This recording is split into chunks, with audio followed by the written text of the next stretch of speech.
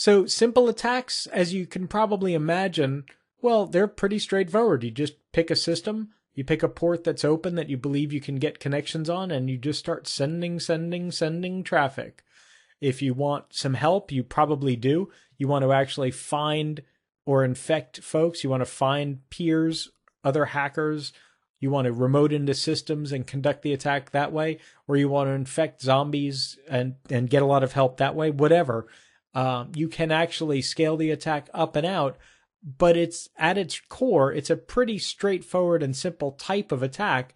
It's just, do you have enough scale to overwhelm the target system? That's really the limitation.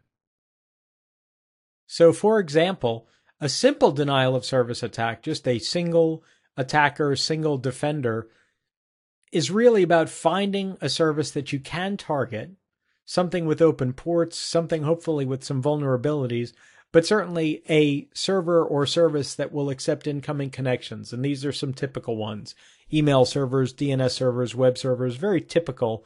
They almost always accept incoming connections. Oftentimes they accept unauthenticated connections and then connect, uh, authentication is performed later. FTP servers, telnet servers, all that kind of stuff. And then overwhelming those services. So finding a service that accepts more than one connection and maybe doesn't have a limit on the maximum number of connections, great. The best way to find out it doesn't have a limit, an upper boundary on number of connections, hmm, send it a few hundred thousand and see what happens uh, and then send specific queries or data or information to those services. So, for example, in these cases, don't just request a web page, don't just slap F5 a bunch of times, but actually, if it's a uh, web server that has a search engine, request a complex search query, request something that's going to take some horsepower to resolve.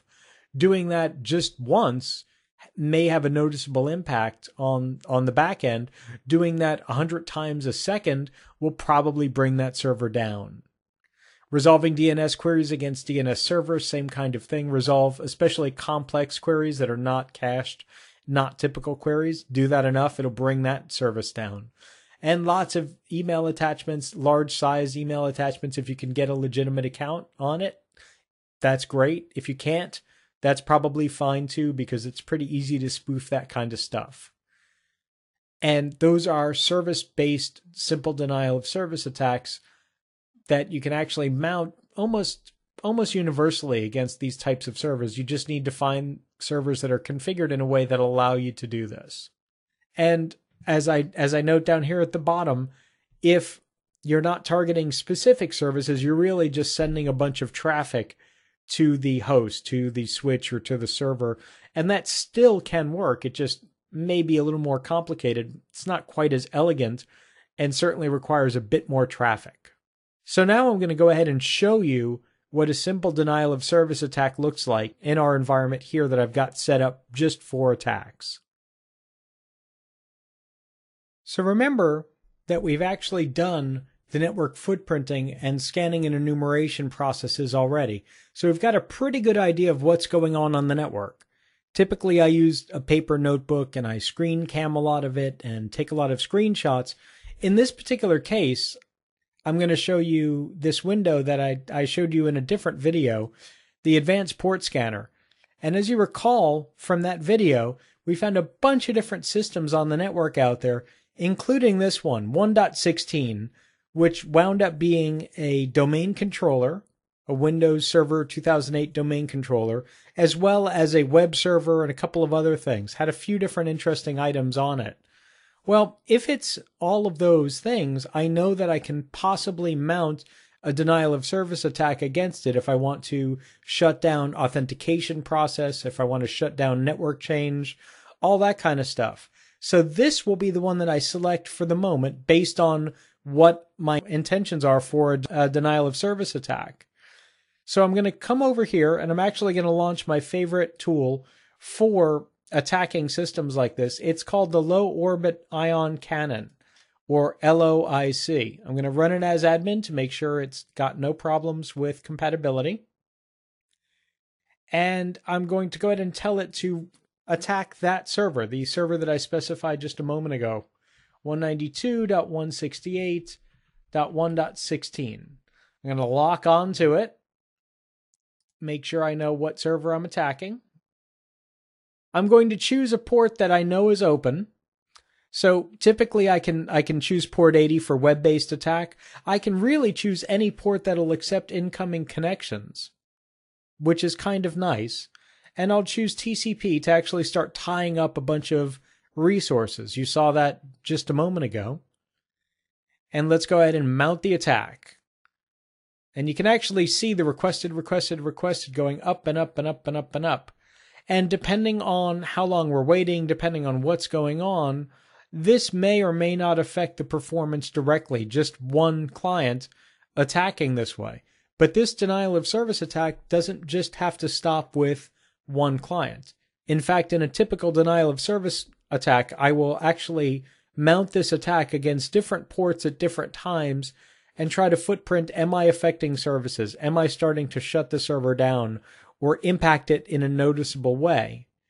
Or I'll scale this out by running the low orbit ion cannon on a dozen machines or two dozen machines or a hundred machines at the same time. A lot of this can be scripted.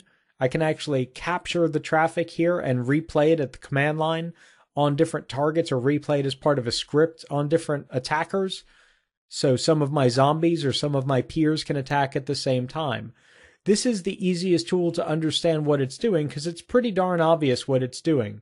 And it will start to slow down a little bit, partially because I'm consuming resources on the client, but also because the server itself is either getting slower, consuming more resources, or it's actually starting to defend against this type of attack. It's recognizing the pattern.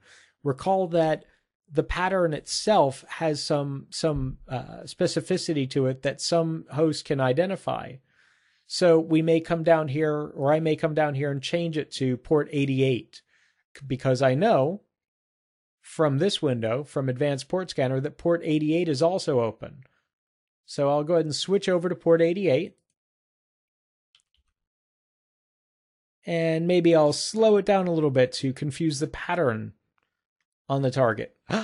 and there we go. And now we're attacking a different port, which is going to be a different service in a slightly different way and with a different speed.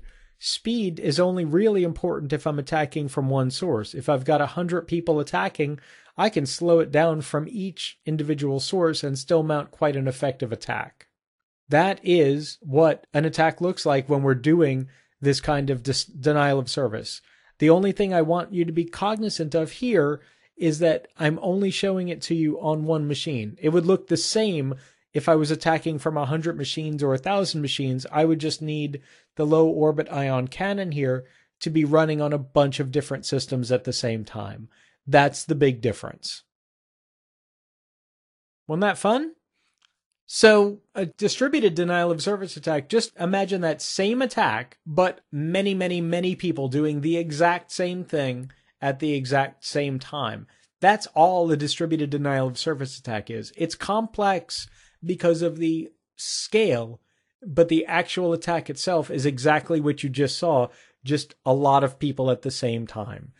The trick really is just getting everyone to launch it at the same time, which is why you use malware, because the malware can be timed, it can be controlled, and it can implement all of that attack at exactly the same moment. That's why you don't just telnet into a bunch of machines one by one and start an attack, or VNC or remote into a bunch of machines one by one. It's just not going to scale. If they all start at the same time, that's when an effective denial of service attack scales out.